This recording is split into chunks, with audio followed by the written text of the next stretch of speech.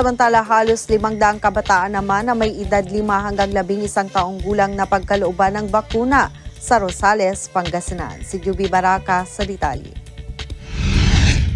Bilang pagtugon sa panawagan ng Department of Health na kontra COVID-19, ang mga batang nasa 5 hanggang 11 taong gulang ay inumpisahan na ng bayan ng Rosales, Pangasinan ang pagbabakuna. Sa unang araw ng kanilang pagbabakuna ay umabot na sa 482 na mga bata ang nabigyan ng first dose. Bago ang nasabing pagbabakuna ay masusing sinusuri ng mga nurses at mga kawani ng Conrado F. Estrella Regional Medical and Trauma Center ang mga bata. Ayon kay Dr. Rosemary Balintin, pediatrician, ang bakuna ay maraming magandang naidudulot sa mga bata.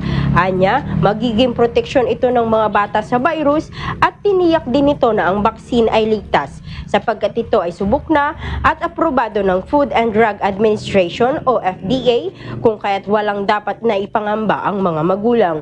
Upang hindi naman matakot at huwag kabahan ang mga batang babakunahan, ginawang parang children's party ang tema ng vaccination site. Si Dr. Valentin ay nagdamit Wonder Woman at ang kanyang mga kasamaan ay nagsabit ng mga staff toys sa kanilang mga damit. Bukod dito ay binigyan din nila ang mga bata ng candies, lollipop at staff toys upang sila ay maaliw. Patuloy namang hinikayat ni Dr. Valentin ang mga magulang na huwag matakot at pabakunahan ang kanilang mga anak para sa kanilang proteksyon laban sa COVID-19. Kasama sina Crystal May Rabang at Rap Marquez, Juby Baraka, matatag, matapang, matapat.